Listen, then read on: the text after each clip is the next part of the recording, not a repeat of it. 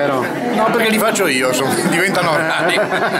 sono visti con i miei occhi. I miei occhi sono singolari, ecco perché la rarità è frutto di una singolarità. Tutto, è un po' uno scherzo, ma è una realtà.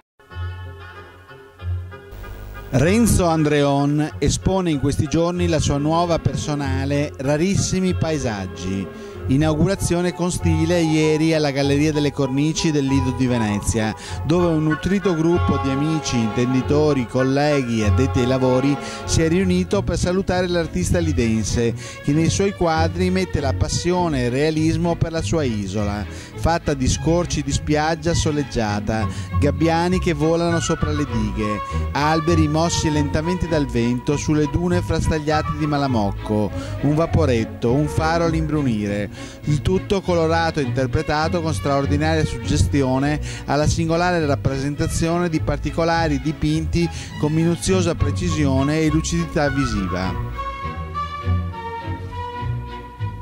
e fra i volti noti presenti alla serata abbiamo incontrato Maria Grazia Turco, collega e amica di Andreon. Quindi è molto bello anche rivedere questi nostri spazi eh, dipinti in maniera così precisa, così ottocentesca, con una qualità di tecnica e una precisione di pittura e di pennello che Renzo è riuscito a creare sui suoi quadri e a costruire queste bellissime eh, piccolissime opere che sono i suoi ultimi quadri.